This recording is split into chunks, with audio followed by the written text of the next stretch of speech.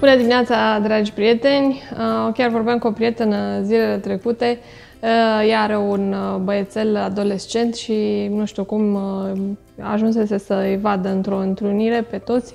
și îmi povestea că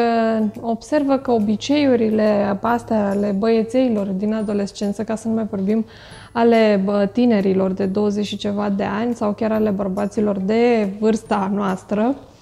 Uh, sunt, nu mai sunt uh, aceleași. Ei nu mai sunt uh, așa gentlemen, nu mai au aceeași politețe, nu mai au același uh, comportament așa galant. Uh, practic, cred că le-am, uh, le-am știrbit și nu greșesc aici când spun, le-am știrbit uh, o parte din uh, bărbăție, din masculinitate, în uh, condițiile în care noi, femeile, am încercat în ultimii ani, mai ales după Revoluție încoace, mamele noastre și ulterior uh, noi,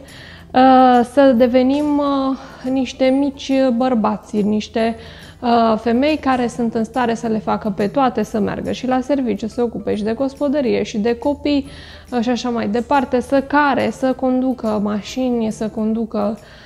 companii, să devină pilot, să aibă, eu știu, o mulțime de Uh, joburi din acestea înainte masculine, care de altfel sunt niște joburi de admirat și sunt uh, foarte multe femei care le fac uh, astfel de meserii mult mai bine decât bărbații.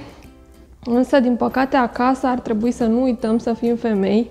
și să ne mai lăsăm bărbații să ne deschidă ușa din când în când și să aibă grijă de noi că avem nevoie, așa ne-am născut până la urmă și nu le putem face pe toate și sigur e și vina lor și a noastră ca mame care ne educăm băieții în același fel și poate nu ar fi bine să ne educăm în același fel în care au fost ei educați și învățați cu toate pe masă și așa frumos venind în fața televizorului.